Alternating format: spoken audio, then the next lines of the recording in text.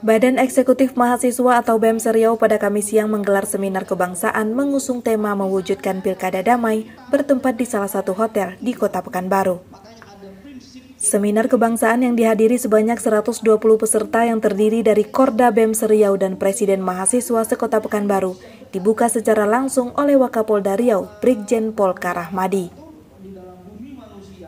Sejumlah narasumber baik dari KPU, Bawaslu, akademisi hingga tokoh adat Melayu dihadirkan untuk memberikan penjelasan kepada peserta. Wakapolda Riau menjelaskan seminar ini merupakan salah satu bentuk sosialisasi dari BEM Seriau dalam mendukung aparat kepolisian mewujudkan situasi kondusif dalam penyelenggaraan Pilkada 2024 mendatang.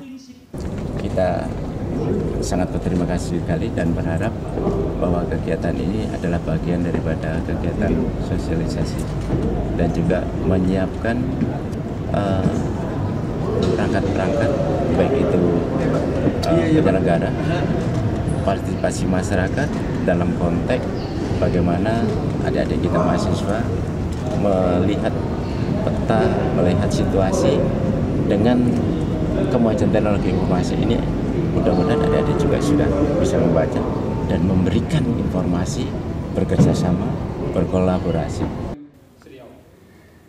Sementara itu, Koordinator Pusat BEM Seriau Al-Fikri Habibullah menyebut kegiatan seminar kebangsaan ini dilaksanakan guna memberikan pencerahan kepada mahasiswa agar tidak mudah termakan isu-isu SARA yang berpotensi menimbulkan gesekan di tengah masyarakat jelang Pilkada 2024.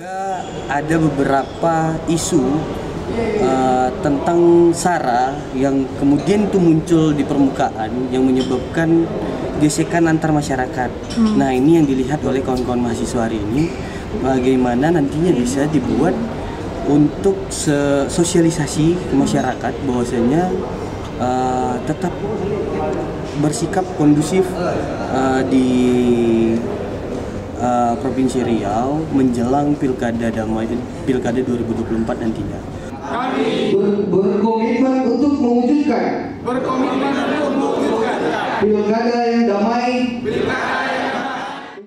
BEM Seriau mengaku berkomitmen mendukung Polda Riau dalam menciptakan situasi yang kondusif pada penyelenggaraan Pilkada 2024 di Provinsi Riau. Priska dan Zidan Al-Azhar melaporkan.